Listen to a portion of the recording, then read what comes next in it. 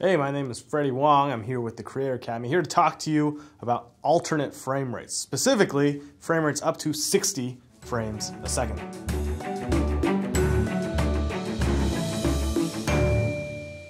To experience high frame rate in this lesson, switch to HD quality in the YouTube player now. Frame rate refers to how many frames of your footage play in one second. For example, video formats often play 24 frames per second. HFR, or high frame rate, generally refers to frame rates that play faster than 30 frames per second.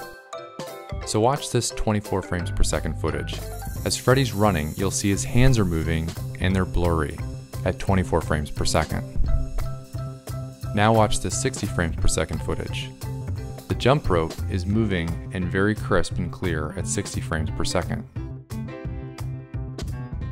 Why would you use something at to 60 frames a second? Well, the same reason why you would try using different aspect ratios or different color correction or maybe shooting it in black and white. It's all changing the form of what you're doing. And by changing the form, you're hopefully also affecting the way your content is received. 60 frames a second has a very specific look because you have, well, 60 frames a second. It's a little bit smoother. Wait, is this in 60?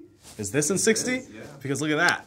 Normally, something like this and 24 frames a second would be sort of smeary, motion blurry, what have you. But here, aha, every moment, every weird hand movement I'm making right now is capturing excruciating detail.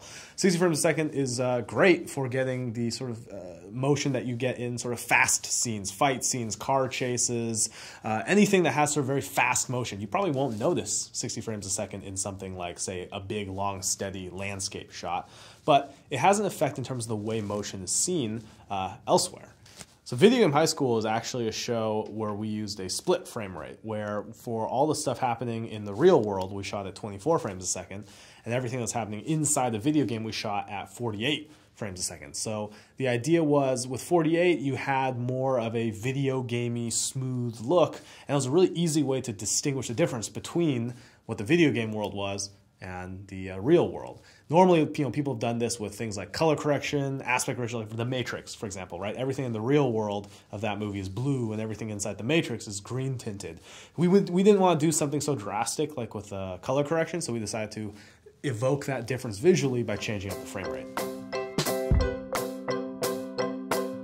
There's like a new generation of viewers, viewers who are sort of more used to things at a higher frame rate, things like uh, video games, which might play at 60 frames a second.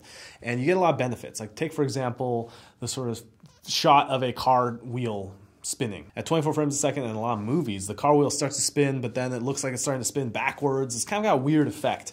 Uh, helicopter blades, anything that's sort of fast and spinning. 60 frames a second and higher frame rates gets you around that by getting the direction right you know 24 frames a second is great but it also has these weird motion artifacts that we've now in this day and age come to accept because that's the way movies always have been. But doesn't mean that's the way movies always have to be. And the question really at the end of the day comes to if you like that look and if that look serves the story that you're trying to tell.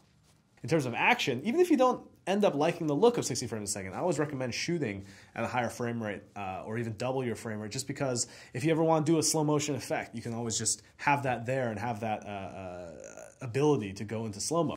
I like using higher frame rates for things uh, that are action oriented or sort of very quick moving. You know, I think uh, that the look of it is a very realistic look. You know, I think it starts to fool your eye into looking at what you're seeing as something that is sort of uh, no longer through the the lens of like cinema and more sort of a real life look at something. You know, like and uh, what I found is that a lot of times that helps for let's say you're trying to do like a more realistic vlog or something that is a little more documentary style. It puts you in there a lot more. Uh, as a viewer, than compared to something like 24 frames a second, where you're like, oh, this is clearly a movie.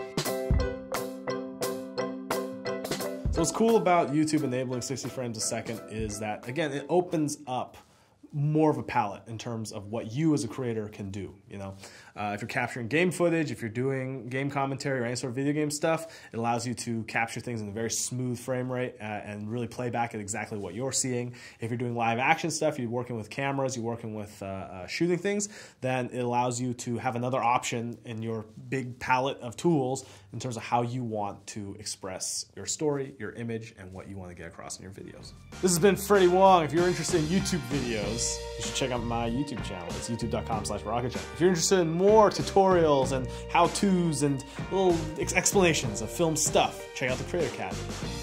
Oh, the link's right here.